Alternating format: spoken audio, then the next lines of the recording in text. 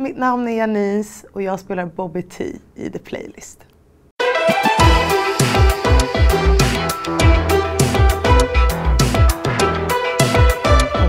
Okej, okay, då skulle jag säga, oj. Ja, jo, jag skulle säga en av mina egna låtar, My kind of woman, tycker jag, jag, jag känner mig som that kind of woman just nu faktiskt.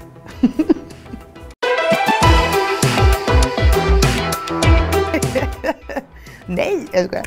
Jo, det är absolut eh, min riktiga röst eh, man hör i serien. Jag sjöng väldigt mycket under de här tagningarna. Under My kind of woman så sjöng jag 42 gånger på set. Det var utmanande minst sagt, men väldigt, väldigt kul. Eh, jag fick så himla mycket kärlek från alla statister och sådär, så det var faktiskt väldigt, väldigt roligt.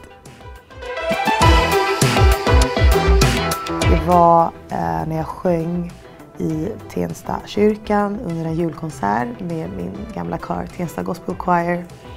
Och jag har ju mitt första solo. Och det jag kände då eh, hade jag liksom aldrig upplevt tidigare. Det var liksom som att allt tid och rum stannade upp och allt som hade hänt innan och som jag visste skulle hända efter bara försvann. Det fanns liksom bara just den stunden. Eh, och det var så mäktig eh, upplevelse. Eh, och då kände jag att det, det, finns inget annat som kan få mig att känna så här. Och eh, det är det här jag ska göra.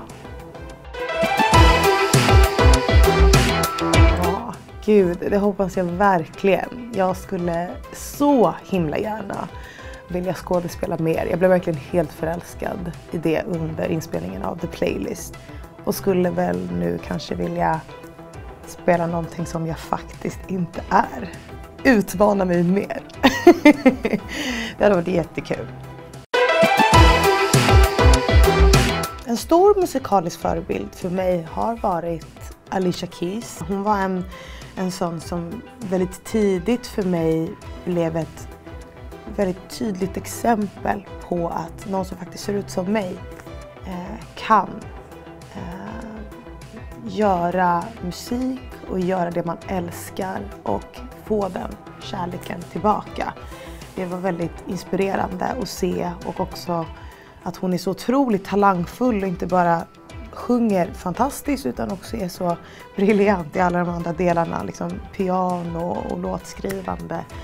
Eh, sen var Whitney Houston också en väldigt så tydlig ledstjärna för mig. Jag ville väldigt länge bli Whitney Houston, alltså inte bli mig själv utan vara Whitney när jag var väldigt liten då. Eh, hon blev en eh, ledstjärna för mig. Eh, liksom, vad ska man säga, väldigt vokalt. Hur hon sjöng tyckte jag var sjukt fascinerande och jag minns så tydligt när jag hörde henne sjunga första gången. Min mamma visade ett klipp eh, och jag fick rysningar upp i ansiktet och kände att wow, wow, det där vill jag göra med människor. Gud, vad hade det varit? Jag får lite inre stress faktiskt.